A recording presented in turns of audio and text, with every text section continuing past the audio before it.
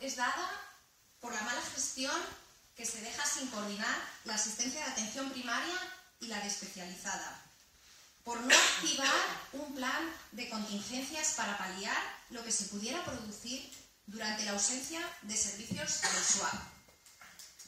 El cierre pediátrico de los sábados, ya bueno, eh, el no tener plantillas orgánicas ajustadas a las necesidades reales, reales, tanto de médicos como el resto de categorías. Y no respetar el buen hacer de los profesionales sanitarios, que están haciendo una labor que no está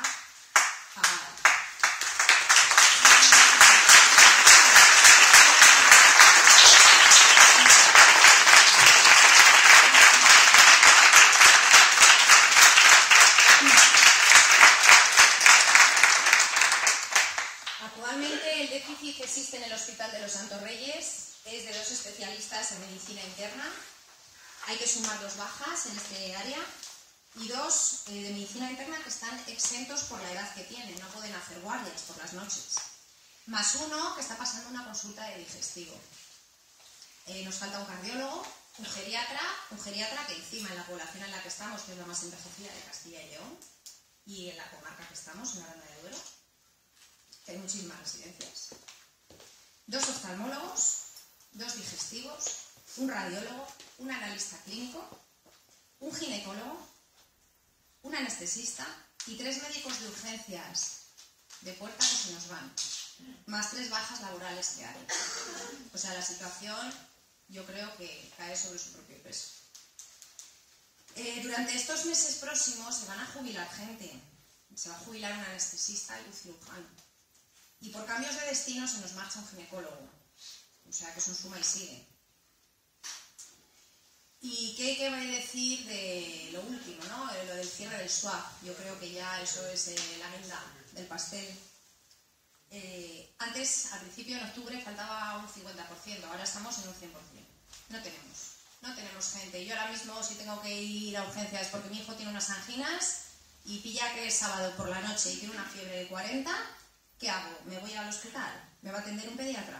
No, me va a atender un médico de puerta que si viene una persona con una parada cardíaca o con otra cosa más importante, le tienen que atender porque el hospital es para lo que es, para unas urgencias graves, no para unas anginas. El, área de primaria, el SWAP, considero que es una parte súper importante, sobre todo para una población tan grande como Aranda.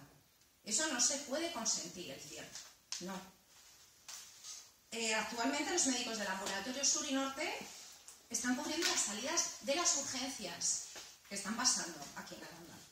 Además de continuar con sus consultas de los ambulatorios. En la atención primaria de los ambulatorios del norte y del sur, eh, faltan pediatras. Hay una pediatra en el sur, pero la otra consulta la está pasando eh, distintos pediatras diferentes días. No es el mismo pediatra, pero claro, según ellos está cubierto. En el norte nos pasa lo mismo. En el norte tenemos una pediatra y nos faltan dos, cuando había tres. Dos. Y digo dos porque la otra persona que hay en plantilla no es pediatra, es un médico de familia.